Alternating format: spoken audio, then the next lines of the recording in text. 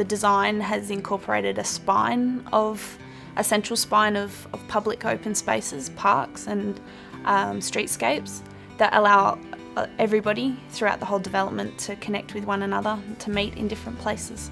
So it's much about connection, connections internally as well as connections with the external components. And it's very rewarding to be involved in the project from the very beginning and to see all of the approvals and everything coming together and to see work happening on site.